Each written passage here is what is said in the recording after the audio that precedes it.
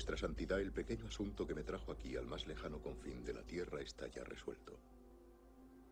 Y los indios están libres de nuevo para ser esclavizados por los pobladores españoles y portugueses. Creo que este no es el tono adecuado. Comience. Vuestra Santidad, os escribo en este año del Señor de 1758 desde el continente sur de las Américas, desde la ciudad de Asunción, en la provincia de La Plata, a dos semanas de marcha de la gran misión de San Miguel.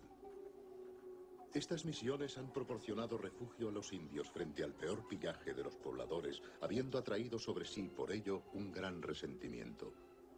Las nobles almas de estos indios se inclinan hacia la música, de hecho, muchos de los violines que se tocan en la Academia de Roma son obra de sus ágiles y habilidosas manos. Partiendo de estas misiones, los padres jesuitas llevaron la palabra de Dios a aquellos indios que aún existían en estado salvaje en el alto e ignoto altiplano, recibiendo a cambio el martirio.